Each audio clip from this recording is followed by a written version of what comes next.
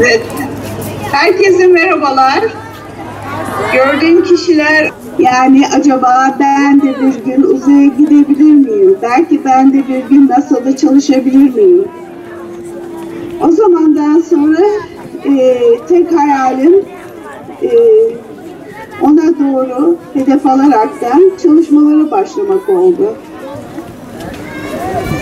En çok değer verdiğim dersler tamamen fizik, matematik, bilim dersleri en çok hoşuma giden konulardı. Uzun seneler o konuları ağırlıklı bir zevkle eğitim aldım. Öğrenebileceğim kadar her şeyleri öğrendim.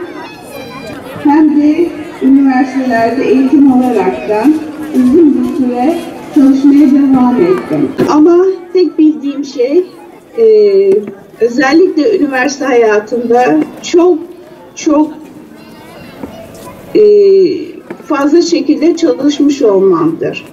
Hayatımda bir gün birdenbire inanamadım. Yani benim çocukluğumdan beri hayal kurduğum bir yer.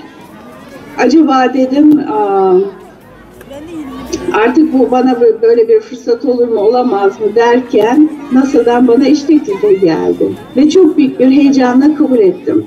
Atölyemizde yapmış olduğumuz çalışmaları e, kreşlerimizden gelen öğrencilerimize, çocuk atölyelerimizden gelen öğrencilerimize paylaşımda bulunduk. E, atölye önümüzde e, yaptığımız etkinlikte birçok projemizi burada paylaştık. Aynı zamanda etkinlik sonunda e, NASA'da görev yapan Pınar Hanım bizimle birlikte e, çocuklarımızın hayallerine ortak oldular. E, bu etkinliğe ortalama e, 350'ye yakın öğrenci katıldı.